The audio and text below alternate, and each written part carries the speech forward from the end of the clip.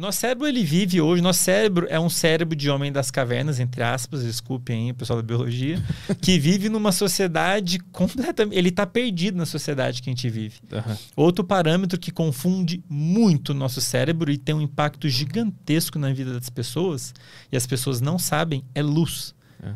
Então, muita, muitas pessoas elas podem estar tendo problema para dormir, problemas com sintomas de depressão, problemas de aprendizado, de atenção, por conta do como elas estão se expondo à luz. Eu falo isso pra caramba lá no Instagram, a galera pira, assim, porque ninguém imagina isso. E, e qual que é a diferença né, de hoje para antigamente? Hoje nós temos a luz artificial, que fica acesa quando a gente quer, inclusive quando não era para ter luz, que é de noite. Uhum. Antigamente era como? A gente, nós somos animais diurnos, né? Antigamente a gente tinha luz quando tinha sol. Nascia, o sol se punha, tudo bem que tinha o fogo ali, né? Depois que a gente dominou o fogo, tinha um fogo um tempinho. Mas é uma, primeiro que é uma luz de intensidade completamente diferente. E segundo, que a gente não conseguia ficar mantendo fogo por tanto tempo, igual a gente mantém um iPad, um computador na sua cara ligada até altas horas da madrugada, né? E isso, cara, cria, faz o seu cérebro ficar muito confuso. Porque a luz é um dos principais estímulos que o nosso cérebro usa para saber que horas são. Nosso cérebro tem um mecanismo natural que marca a passagem do tempo. E isso foi importante na- ao longo da evolução, porque esse reloginho, na verdade, a gente tem reloginhos distribuídos no corpo inteiro. Todas as células do corpo têm um reloginho natural, meio que marcando a hora. E tem um reloginho mestre no cérebro que coordena todos os outros. Então, dependendo da hora do dia, da hora que as células acham que é, ela modula a atividade, a sua atividade. Qual que é a ideia? A gente era natural a gente estar mais ativo quando tinha luz, porque a gente vê e faz as coisas, e menos ativo de noite, quando é o momento que a gente ia dormir, né? Então, é, todos os animais têm esse mecanismo, todos, inclusive plantas.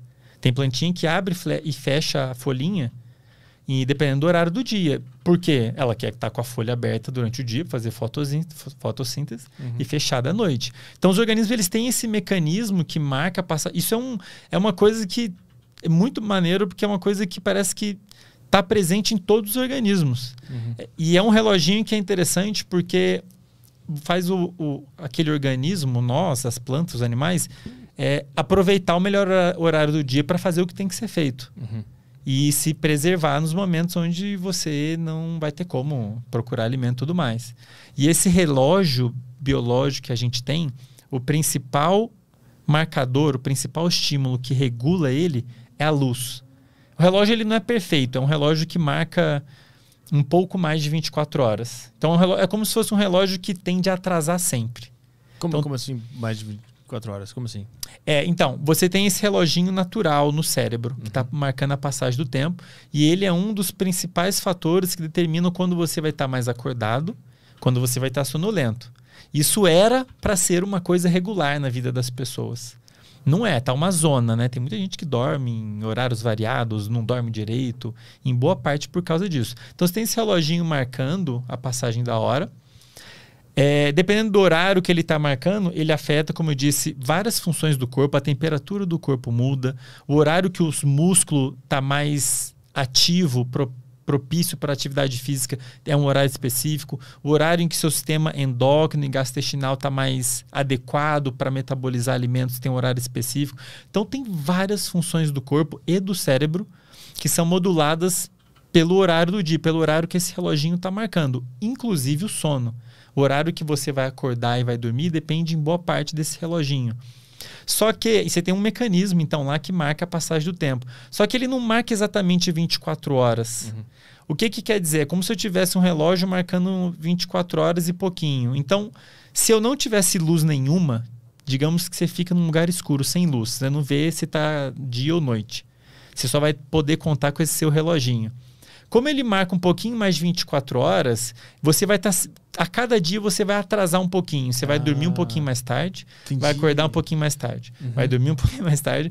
acordar- Você não vai saber disso. Entendi. E esses experimentos foram feitos já desde 1930 e alguma coisa, por uma duplinha lá, o Nathaniel Claytman, que é uma grande referência na área de sono, quem quiser jogar no Google e perguntar. E ele, esses experimentos foram feitos. Você pega um pessoal e põe dentro de uma caverna. Isso já foi feito mais de uma vez. Ou um lugar que não tem acesso à luz para estudar esse ritmo natural do corpo humano, né? Então, você tem esse reloginho biológico programado na nossa genética para marcar a passagem do tempo. Só que ele não consegue, ele não marca exatamente 24 horas. Isso varia de pessoa para pessoa. Uhum. Tem pessoas que marcam 25, tem pessoas que marcam a passagem marca 26 horas, tem pessoas que é 24 e alguma coisa, tem pessoas que marcam um pouco de 20, menos que 24. Entendi. E isso inclusive influencia se a pessoa ela tende a dormir e acordar mais tarde ou tende a, a dormir e acordar mais cedo, se ela é mais noturna ou diurna. A calibragem de cada relógio individualmente determina esses horários que tu Não, é pois isso? é. O ideal é que todos os nossos relógios estivessem sendo igualmente calibrados. Porque o Sol, se a gente está aqui na mesma cidade, o Sol vai nascer igual para nós dois. Uhum. Então, se a gente se expor ao Sol no mesmo momento, né, luz, do Sol, é como a luz do Sol é como se ela zerasse o relógio. É como se todo dia você chegasse lá e zerasse ele para ele começar de novo. Entendi. E não deixar ele atrasar. Se você deixar ele rodando sozinho, ele vai atrasar um pouquinho todo dia uhum. e os horários vão ficar uma zona. Por isso que quando a gente é jovem e fica no quarto jogando videogame, no, a gente vai começar a dormir cada vez mais tarde. Perfeito. Porque tu não, nem percebe. Perfeito. Eu lembro que eu, come, eu comecei a jogar videogame, eu ia dormir às duas, daqui a pouco eu tava dormindo às três, daqui a pouco eu tava dormindo às sete da manhã. Tanto videogame que eu jogava Perfeito. quando eu era jovem. E aí é um, é um problema, porque você não tem a luz natural. Porque o que, que é legal da luz natural? Duas coisas. Uma que ela é muito forte do ponto de vista energético em modular esse reloginho. Tá? Ela é muito mais forte do que a artificial. Mas um outro motivo mais importante é que a gente não tem como controlar ela. Quem controla é o nascer e o pôr do sol. Uhum. Então, assim, é uma, um marcador externo que é, é garantido que vai acontecer no mesmo horário. Uhum. Então, assim, é uma forma muito boa da gente conseguir manter o nosso relógio sempre ajustadinho, uhum. é se expor o máximo possível à luz natural. Se a gente não se expõe, muita luz natural, que é algo que pode estar até acontecendo muito na vida das pessoas agora, estão ficando mais em casa, a tendência é esse reloginho perder essa informação importante para regular e o horário das pessoas ficar meio bagunçado. Elas vão começar. Porque daí agora elas ficam mais expostas à luz artificial. E a luz artificial tá lá toda vez que você quiser, né? Então, uhum. tá de noite, o seu cérebro acha que tá de dia. Mas a, a luz artificial, o teu corpo interpreta como a, a fosse Sim. a luz natural. Sim. Tá. Depende, de novo, depende do quanto você se expõe à luz natural. Qual que é o ideal? Que eu até falo pra caramba as pessoas. Se expõe o máximo à luz natural, especialmente de manhã, logo depois de acordar. Porque daí seu reloginho sabe, o dia começou agora. Uhum. E ele zera, como se ele zerasse o relógio. Se você começa a fazer isso, você regula o seu reloginho, você naturalmente começa a querer dormir e acordar sempre no mesmo horário, e isso é ótimo. Uhum. Você variar o horário de acordar e dormir é muito ruim, é muito ruim para a saúde. Uhum. Porque o que, que acontece? É, como eu disse, esse esse reloginho, a gente tem reloginhos no corpo inteiro. E é importante que eles estejam todos sintonizados, marcando a mesma hora, como se fosse uma sinfonia e você quer que todo mundo esteja ali em harmonia, né, entrando no momento certo. Se alguém sai de harmonia, o negócio começa a ficar zoado e o corpo humano é assim também. Uhum. Se você tem os reloginhos do corpo desregulados, marcando horários diferentes ou variando muito, você começa a ter, cultivar uma série de problemas. E Arthur, a lista, a lista de problemas que a pessoa vai ter que lidar se ela não tiver o reloginho dela ajustado, e se não estiver, estiver dormindo adequadamente, é gigantesca. É isso que eu ia te perguntar, quais são as consequências de não estar tá exposto à luz natural e dormir mal? Então, inúmeros, déficit de atenção, depressão, ansiedade, é, problemas cardiovasculares. Isso assim, no dia seguinte, se você não dormir o que você deveria hoje. No dia seguinte, você já vai colher uma. Mesmo que você ache que tenha dormido, se você não dormiu, no nosso caso, adultos, sete horas, no dia seguinte você vai ter problema de atenção, problema de autocontrole emocional de um modo geral, o que inclui se sentir mais ansioso, é, humor deprimido, impulsividade, você tende a ficar mais agressivo, uhum. é, você perde a sua capacidade de autocontrole de um modo geral. E isso, no longo prazo, destrói a cabeça do Ao longo prazo, você vai acumular. O problema do, da falta de sono é que ela é cumulativa. Tem uma série de processos que acontecem durante o sono, a atividade do cérebro muda, atividade química muda, por, passando por vários estágios. Se a gente não passa por todos esses estágios adequadamente, você fica devendo. Uhum. E alguma coisa que deveria acontecer deixa de acontecer. A longo prazo, você se predispõe, inclusive, a desenvolver doenças neurodegenerativas. Uhum. Galera. É, e assim, é um negócio. É como se estivesse colocando uma moedinha no cofrinho, né? Um negócio que vai acumulando ao longo da vida. Uhum. Então, por exemplo, uma das coisas que precisa acontecer durante o sono é. O que acontece? Quando a gente começa a dormir, a gente passa por vários estágios, né? Do sono mais leve ao sono mais profundo. No estágio de sono mais profundo, você tem acontece uma espécie de lavagem no cérebro. Um negócio, um dado que saiu há não muitos anos atrás, foi uma bomba assim. Você tem um fluxo, tem um líquido que banha o cérebro e o fluxo desse líquido, do sangue e desse líquido aumenta no cérebro. Então é meio que lava fisicamente mesmo, lava o seu cérebro nesse estágio de sono profundo, né? E tira um monte de substâncias que se acumularam ao longo do dia, tipo como se fosse o lixo do seu cérebro. Uhum. É, substâncias que atrapalham a atividade do cérebro, que estão ali meio que poluindo o circuito de funcionar. E algumas delas, inclusive, se elas vão se acumulando muito, elas começam a ser tóxicas. Uhum. E é justamente esse tipo de coisa que leva ao desenvolvimento da doença de Alzheimer. É o acúmulo de uma proteína, começa a acumular ali, começa a se agregar, e em certo momento ela começa a ficar tóxica, começa a levar à morte neuronal. E, claro, isso não vai acontecer no dia seguinte, né? Nossa, Andrei, dormi mal hoje, será que tem neurônio morrendo? Não, sim, leva anos, né?